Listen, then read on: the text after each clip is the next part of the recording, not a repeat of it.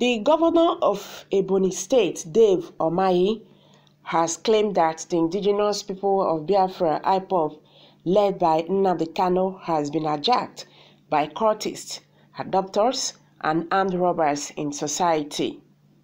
Umahi called on the pro-Biafra group to critically observe the current situation in southeast region, describing it as worse. The governor noted this on Tuesday at the Ecumenical Center in Abakaliki, the Ebonyi State capital, while inaugurating members of the Southeast Traditional Rulers Council.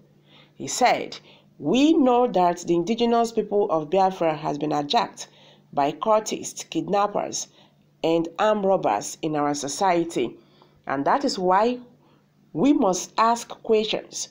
Those who said that they are fighting for us fighting for our marginalization should take a critical look about our situation today.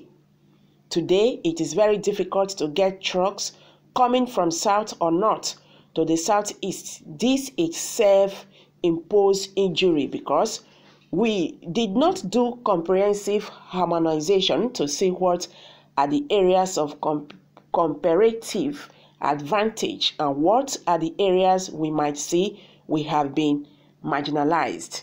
So, if late we came together and told our youth that we may know your area of marginalization, and that is what we have done.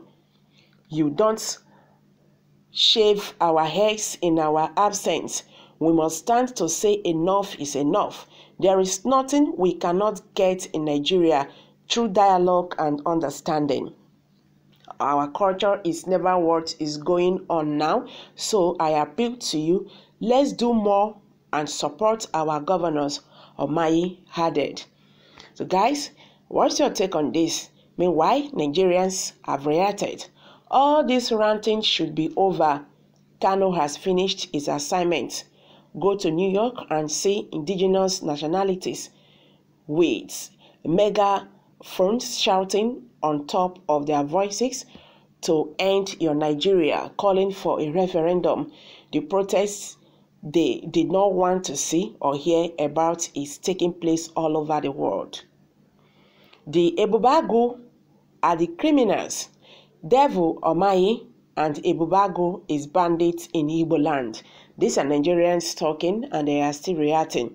Imagine Umahi dictating for IPOB. I believe that IPOB's foundation that did not shake in in Mefor time is unshakable now. Mental evaluation is required for Southeast leaders always playing the blame game. Is Umahi not the chief security officer of his region? IPOB is beyond blackmail. What of Ebube Agu? They floated probably ended up like the state of the roads in the southeast region. Okay, someone just dropped that. He's referring to Ebube Agu bandits. That is it. Southeast governors are disgraced. I don't know the type of weed these guys are smoking. Okay, IPOB is owned by the criminals, politicians in the southeast. Someone just dropped that. Now I believe that DOS have been brought by politicians. Ebubago are the criminals. God punish you. Nnamdi Kano himself is a monster who used Biafra terrorist group to siphon uh, funds from Igbo land and abroad. As if they care about IPOP, they are trying to use propaganda against us. I don't blame them. I blame those dividing us. All right, someone said IPOP sit at home order as solidarity of Biafra addressing of Buhari addressing the world at New York. Someone just dropped that. IPOB is a movement in a circle. You have no direction to exist. To exist. Sorry about that. Umahi is not only a fraudster, he is certificated animal. So now criminals have hijacked terrorist group. You guys are so incompetent, including your Ebube Agu Atoro security outfit. They are worst in the hijack killing pregnant women and calling it stray bullets. Okay, someone said this man is the devil itself. And who is Nnamdi Kanu himself, a terrorist commander? A difference between Kanu and Bin Laden is that Bin Laden graduated from high school, while Kanu is a dropout failure. Okay, someone just dropped that. Someone said here, keep selling your youth out to your enemy because of your selfish interests. Though he said the truth, IPOB needs to caution most of these touts misbehaving in the name of IPOB. Devils incarnate. All right. So, guys, these are Nigerians reacting to this.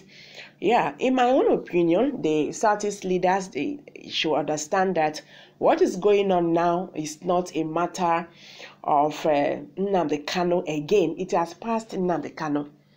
Yeah, what is going on now has passed Nnamdi Kanu. You know, they always say that this agitation, Biafra agitation, is ideology. You cannot stop it. Even when you try to stop it, you will not. It's not possible for you to stop it. So that is the reason why the Southeast leaders have to be very, very careful in dealing with, you know, this kind of sensitive issue you get.